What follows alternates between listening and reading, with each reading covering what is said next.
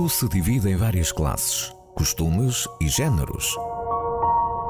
Mas a realidade é que no mundo só existem dois grupos: os que servem a Deus e os que não servem. Deus sempre quis habitar com o ser humano. No início da criação, passeava no jardim do Éden com Adão e Eva. Porém, pararam de servir ao Altíssimo para servirem a si mesmos.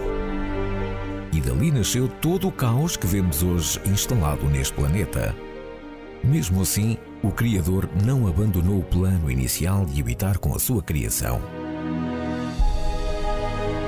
Na libertação dos filhos de Israel do Egito, ordenou ao seu servo Moisés que construísse no deserto o tabernáculo.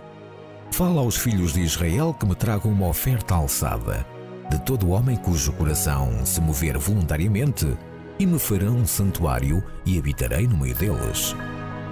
Observe que este lugar santo nasceu diretamente da vontade de Deus estar junto ao ser humano.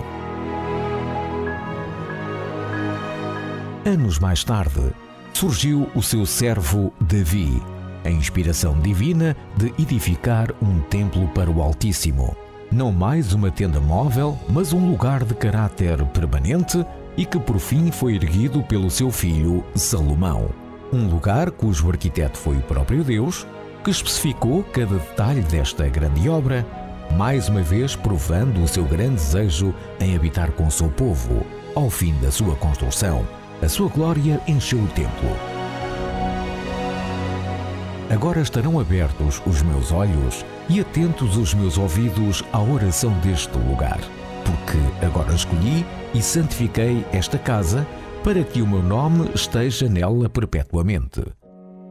Ainda assim, mesmo Deus estando perto, o povo se mantinha longe dele, insistindo em servir aos seus próprios desejos e, por fim, colhendo frutos amargos das suas escolhas. Séculos se passaram e estamos diante da mesma realidade. Um mundo dividido entre os que servem a Deus e os que servem a si mesmos e aos caprichos desta vida. Pessoas vazias e sem paz que não se satisfazem com nada. E é aí que surge a diferença.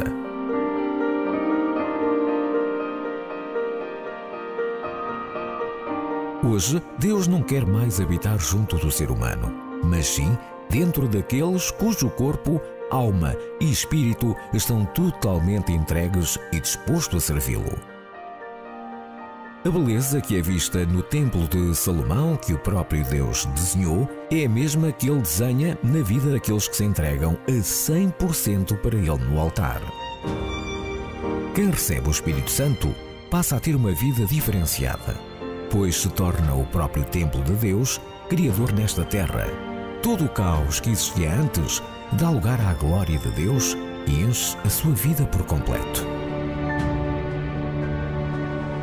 E assim, todos verão que há uma diferença entre o que prioriza o Espírito Santo e o que não.